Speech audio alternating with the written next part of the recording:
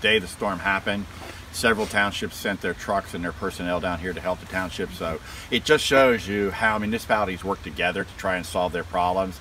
It's a real tribute to the elected officials here in the township and other townships here in York County that they pitch in to help one another. Uh, and uh, it, it, like I said, it's about working together.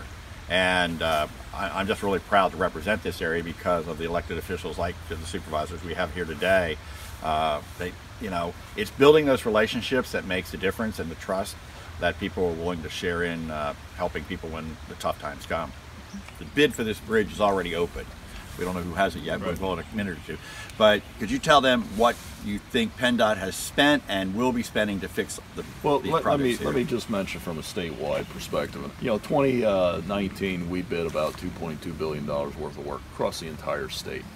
Uh, when we looked at all the different uh, emergency projects that we had in the last fiscal year, it was over 130 million dollars. So that gets to be a pretty, you know, you're talking about five percent of your budget. So again, I think you, you step through, you know, a, a, location like this, to you put a single span structure in here, uh, you know, you, you include the design work and things like that. I would imagine this is going to be in the million and a half uh, dollar ballpark.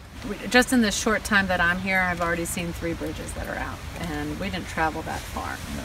And I'm sure we could pick anywhere in this area, and we could see multiple other bridges uh, that, that need help.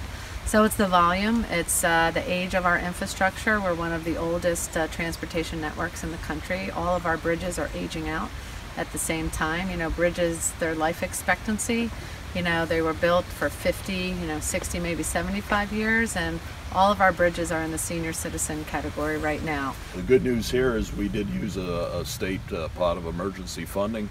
Uh, so, uh, you know, again, when you're looking at transportation in a county like York, uh, those funds are important because we didn't have to uh, defer another project that was already programmed and ready to go. So uh, we're, we're happy. We're at a point where we're going to open up bids today, and uh, you know we can move forward. And uh, between this one and the one over at Lucky Road, you know we'll we'll we'll finally get through the damage that was done from the storm.